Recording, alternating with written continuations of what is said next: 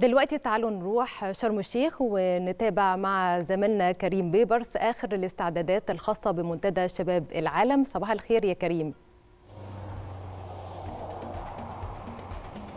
صباح الخير يا دينا صباح الخير يا شاذلي صباح الخير على كل المصريين وكل سنة وإحنا طيبين جميعا. يعني يمكن طبعا دلوقتي أستاذة سارة قالت وأوفت كل ما ممكن يكون هيحصل في المؤتمر منتدى شباب العالم في نسخته الرابعة. ولكن خليني بقى أقول إن أنا موجود هنا على أرض الواقع فعليا وشفت ده بعناية. يمكن من أول ما وصلت المطار وشفنا فعلا الشباب المتطوعين في منتدى شباب العالم واقفين فعلا منتظرين ماسكين يعني اليافطات المختلفة واقفين World Youth Forum أو منتدى شباب العالم منتظرين كل من هو جاي علشان خاطر المنتدى عشان يوجهوه ويحركوه ويسهلوا عليه كمان كل تحركاته داخل المطار وخارج المطار. يمكن كمان جوه المطار غير إنه المتطوعين موجودين في كل أنحاء المطار سواء مثلا مطار القاهرة اللي أنا اتحركت منه أو مطار شرم الشيخ الدولي كمان ليهم أماكن خاصة جوه المطار عشان يحركوا فيه الناس ويوجهوهم ويسهلوا عليهم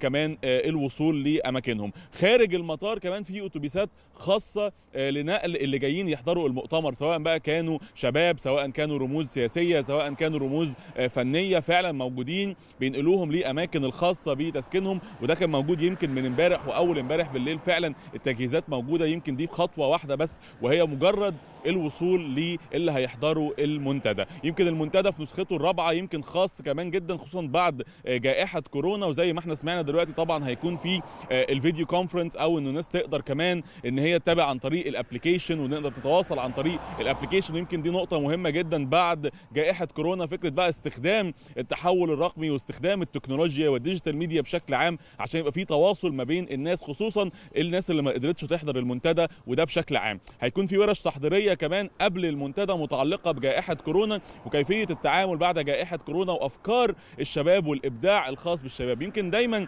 منتديات شباب العالم بيبقى ليها ثلاث محاور أساسية وهي السلام الإبداع والتنمية. وده أهم نقطة في منتدى شباب العالم إن هو بيجمع الشباب من كل الفئات ومن كل الأعمار بداية من 18 سنة ل 40 سنة.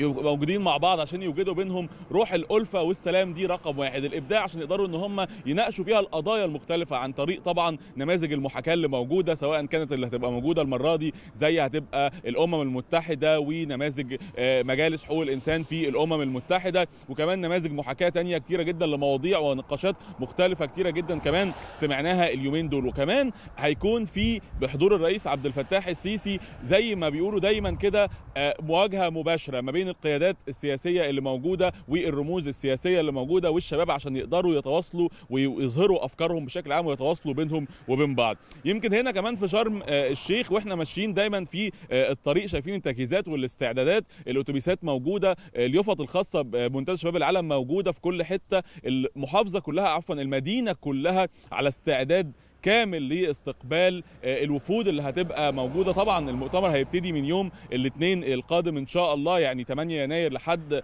13 يناير. وورش عمل مختلفة هتبتدي طبعا استقبال الوفود والشباب. وبعد كده الجلسات الخاصة بقى بالمنتدى. هنتابع طبعا مع بعض الجلسات الخاصة بالمنتدى. ولكن كمان في نقطة هامة جدا وهي على هامش المنتدى الشباب لما بيجوا هنا مش بس بيناقشوا الأفكار المختلفة سواء كانت بقى التغيرات المناخية سواء كانت الخاصة بجائحة كورونا سواء كانت بالأفكار الخاصة بريادة الأعمال خصوصا إن ريادة الأعمال دلوقتي بقت قوة اقتصادية بشكل عام سواء محليا أو عالميا. ولكن كمان الشباب عندهم فرصة كبيرة جدا إن هم على هامش المنتدى إن هم كمان يخوضوا بقى تجارب ترفيهية مختلفة. تجارب ترفيهية بقى سواء كانت في البحر سواء كانت هنا في شرم الشيخ يمكن البحر معروف جدا والطلعات الخاصة بالبحر والمراكب البحرية. كمان الجزء الخاص ب إن هم يتحركوا في السفاري في الصحراء الشباب موجودين عشان هم بجانب المنتدى إن هم يعملوا رحلات سياحية مختلفة. فدي ميزة كويسة جدا خصوصا بعد فترة جائحة كورونا إن إحنا بنتكلم على عودة السياحة. فمنتدى شباب العالم بيبتدي إن هو يرجع أنظار الناس مرة ثانية إنه لا يا جماعة تعالوا نرجع تاني كلنا نرجع سواء بقى شرم الشيخ أو بقية المدن المختلفة. عشان كده منتدى شباب العالم ليه أكتر من ناحية سواء الجزء الخاص بالابداع سواء جزء خاص بالسلام بالسياحة كمان التنمية وهي فكرة التنمية المستدامة اللي الناس كلها بتسعى ليها ويمكن مصر تحديدا بتسعى دلوقتي لاستراتيجيه مصر للتنميه المستدامة 2030 وكل اللي إحنا بنسعى ليه سواء بقى الخاص بالتنمية الخاصة بالبنية التحتية أو غيرها من المجالات المختلفة وكمان التنمية الخاصة بالقارة الأفريقية التنمية المستدامة 2063 مواضيع كتير جدا جدا هنتناقش فيها في المنتدى وكمان هنناقش فيها الناس هنا في الشارع مع بعض على مدار الأيام الجاية. بنشكرك طبعا يا كريم على كل هذه التفاصيل وبالتأكيد هتكون معانا في متابعة مستمرة خلال أيام المنتدى.